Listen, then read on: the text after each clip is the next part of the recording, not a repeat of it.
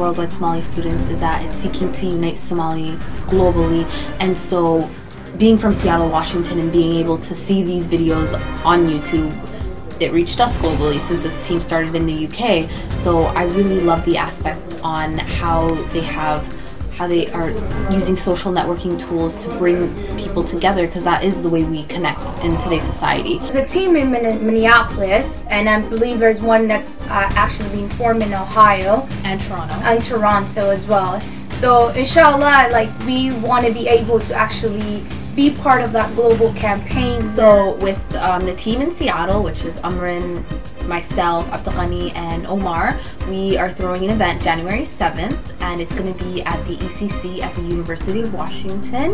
Inshallah, we're going to have guest speakers, Zamzam Yusuf, Professor Sandra Chait. Um, we ha- we're having Hirsi fly down from Minnesota. He's a spoken word artist.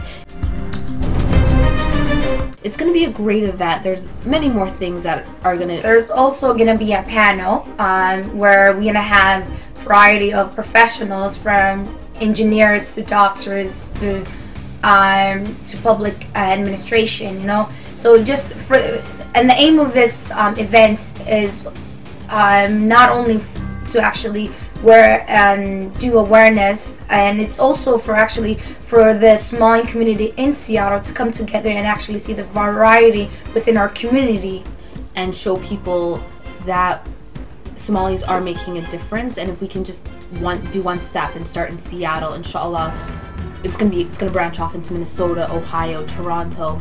We're really trying to bridge these gaps and just make a team, like have North America come together. So we're really excited for this. Um, Seattle will be the first leg.